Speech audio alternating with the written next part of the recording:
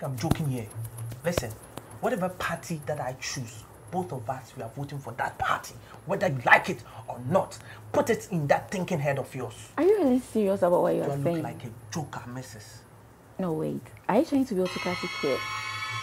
What I say is final. It's not final. You can't be deciding for me always. I have my own right to choose whatever party I want, okay? Sherry, are you working out on me? Sherry! Sherry! Sherry! How dare you walk out on me? Are you crazy? Is something wrong with you? Is something wrong with you? What, what, what is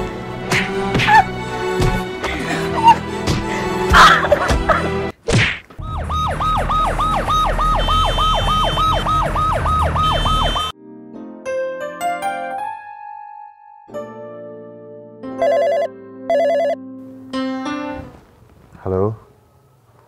Yeah, this is Doc. Yeah, emergency.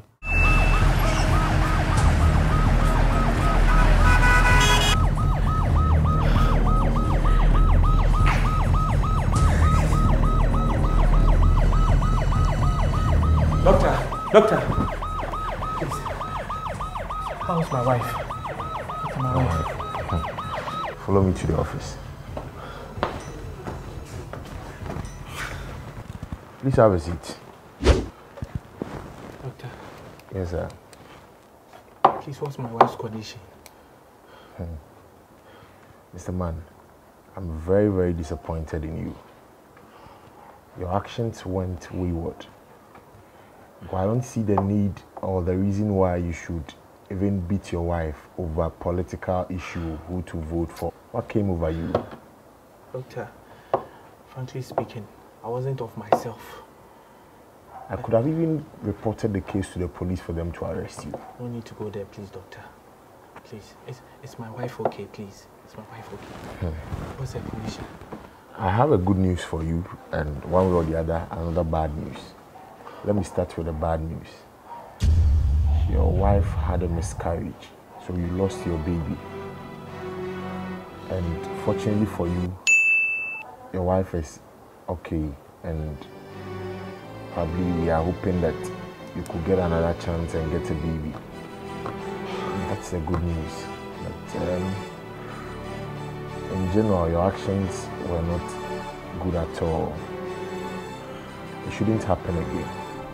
You see, when it comes to elections or who to vote for, it's an exercise of your right. And you can't enforce someone just because you are married to the person or you have control over the person's life. No. It's a person's decision to choose who he or she votes for. So don't impose your decision on them. You see, democracy is a battle of minds. So when people decide to vote for people, it's their right. Allow them. So the fact that the person is your wife now, your wife had a miscarriage. So if she's not giving birth again, it's whose problem? It's your problem. My advice to you all is to say no to election violence. Respect people's decision. I pledge for peace and I stand for peace. Hmm.